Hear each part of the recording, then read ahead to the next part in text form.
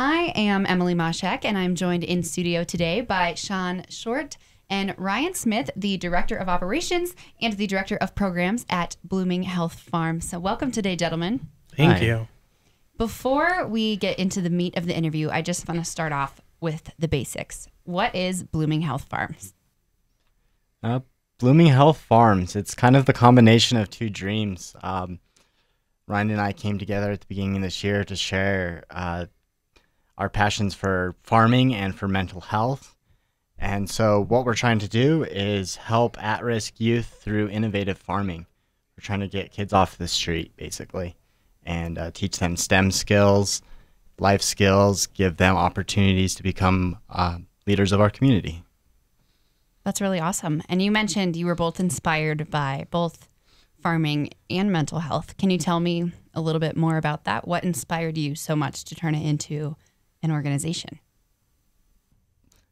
I saw that the best way for farming, in my opinion, was to, to grow food as efficiently as possible.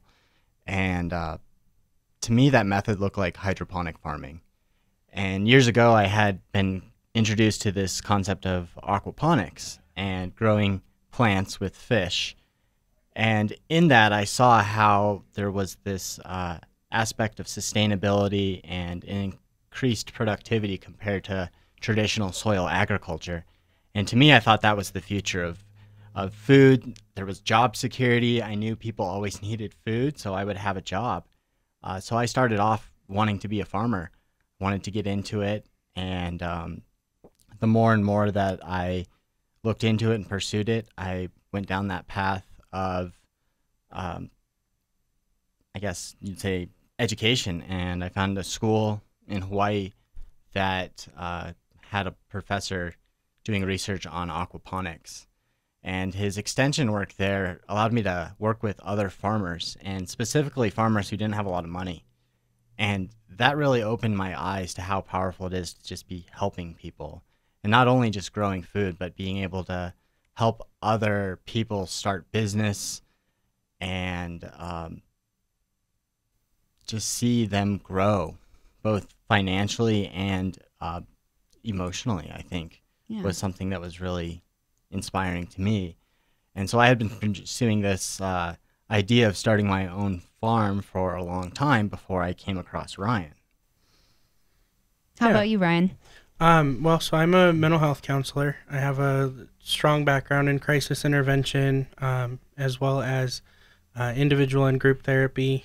Um, and I've always liked growing things. I've always liked fish, and I just had this kind of harebrained idea. I came across aquaponics and some in- internet research, and um, I just had this harebrained idea to turn it into a an at-risk youth outreach program. Um, because there's a lot of science involved, there's a lot of business skills involved.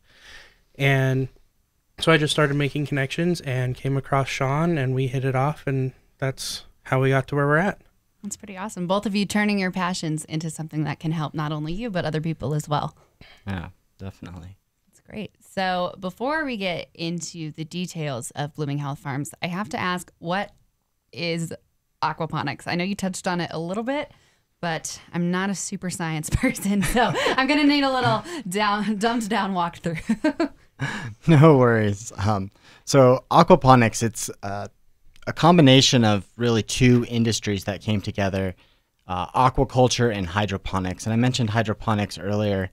Hydroponics is, in the most simplest way, growing plants in uh, without soil in water that has all the nutrients in it. And aquaculture is the raising of fish, uh, salmon, trout. Those are things that we're mostly familiar with here in Colorado but other things like tuna, tilapia, prawns uh, that we also consume. And uh, so it's the marriage of these two industries to create an almost symbiotic relationship in where one species, the fish, actually fertilizes the plants, and the plants remove the uh, what is in the water and purify it back for the fish.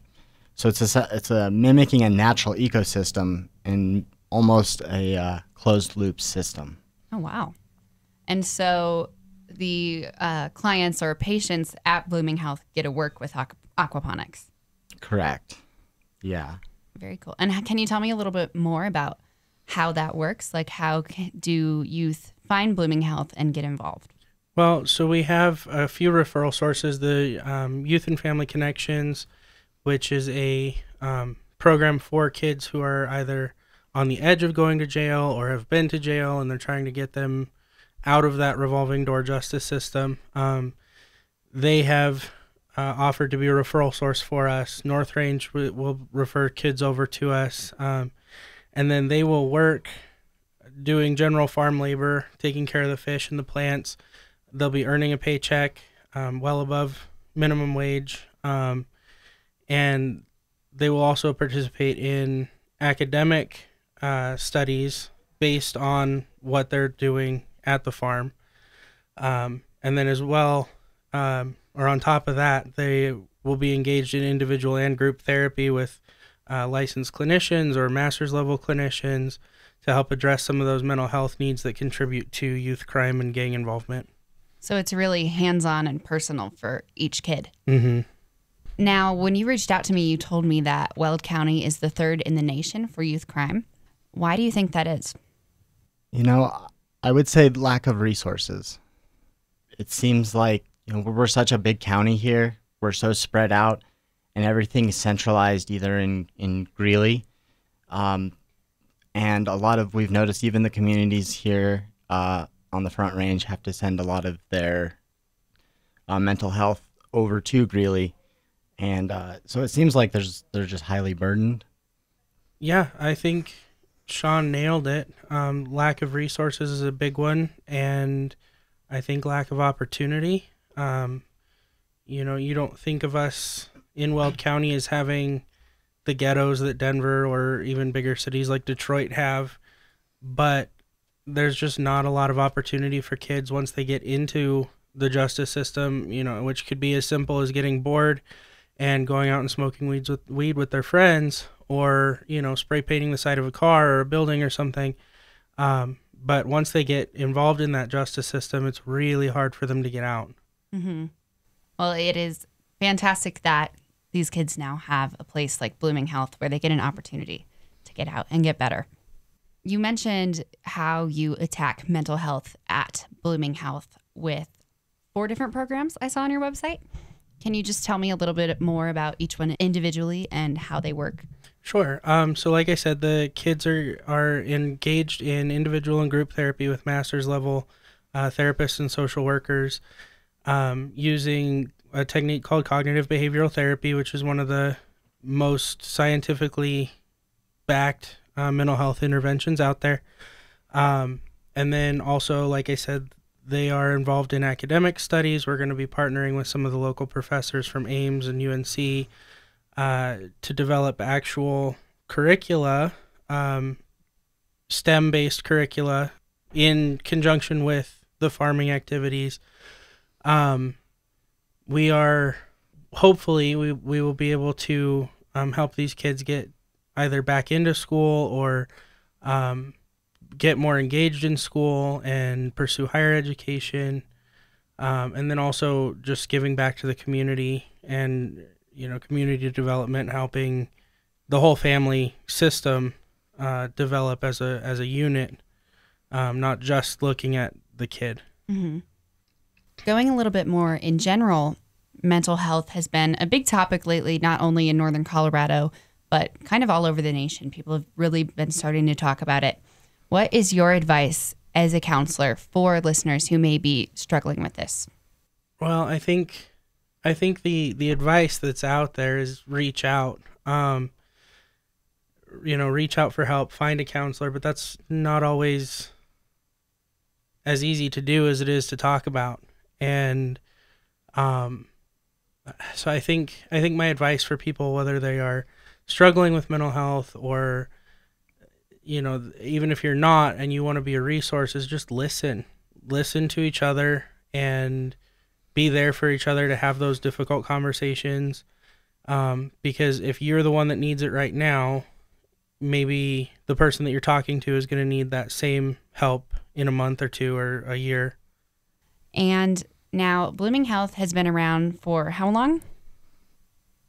We are relatively new, so since April of this Since year. Since April. Well, congratulations. That's Yeah. awesome that you guys are getting Yeah, off the ground and starting. Thank you. I know it's a short time, so this might be a hard question, but how have you seen Blooming Health Farms make an impact so far, whether it's with the youth or just people you've been working with to get it started? I think what we're really seeing is just kind of this excitement from uh, two different worlds that we didn't expect to be blended together. Uh, you don't typically think of um, farming and mental health to be together, but we've seen things like successful models like the the veterans with farms. The uh, so they've shown that there's you know enthusiasm for this type of thing and the fact that we're addressing you know we want to be in our community we want to stay in greeley and help uh, those people that you know need need that type of services and are in those areas of greeley that uh, tend to lack these resources uh, people are just they're blown away that we want to do that Yeah, I think that's really great, especially because Greeley doesn't have as many resources that Blooming Health is now there and in such a creative way because this really is a unique a unique thing that isn't everywhere. So that's exciting to have in northern Colorado. If a young person wants to sign up or join Blooming Health Farms, how do how would they go about that? What is the process? Um, we have a referral form on our website, bloominghealthfarms.com. Our, I think both of our phone numbers and our emails are both on on the website. So, um, they can either email us, give us a call, um, or just fill out the referral form on the website. Nice and easy. Yep. Can listeners volunteer for Blooming Health or is it too soon for that yet?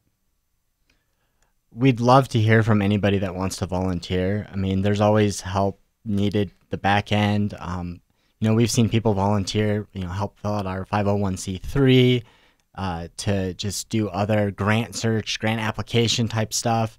And all these skills that we never expected have come out of the woodwork. So, I mean, yesterday we got a call from a guy with uh, background in fisheries and wildlife biology that said, "Oh, hey, I just want to help. Um, and I want to sit down and chat with you guys." And so those things like that, we have no idea uh, what can come of that. So we welcome those opportunities. That's really fantastic. The community's already coming together. and would they just go to the same website if they wanted to get in touch with you? Yeah, the website's the best way to get in touch with us. It's got all the information that Ryan mentioned on there. Great. And do you mind just telling us one more time what that is so everyone can know for sure? Yeah, of course. Uh, you can find us at bloominghealthfarms.com. Oh, awesome. That was very simple. no dashes or anything crazy. Yeah. bloominghealthfarms.com. Well, thank you again so much, Sean and Ryan, for coming in to talk to me about this today. I personally am so excited that there is this fantastic resource for mental health in Northern Colorado. So I'm excited to see where it goes. Cool. Thanks for having us. Yeah, Yes, thank, you so you. much. One final thought if you just had to get out a sentence or a little paragraph about Blooming Health Farms that you want our listeners to know, what would it be? You know, we're we're here for the community, and um, we're really growing food for Northern Colorado, and then growing people for the community. Thanks again to Sean Short, the Director of Operations, and Ryan Smith, the Director of Programs at Blooming Health Farms. If you would like to learn more about this new mental health program in Greeley, you can visit bloominghealthfarms.com.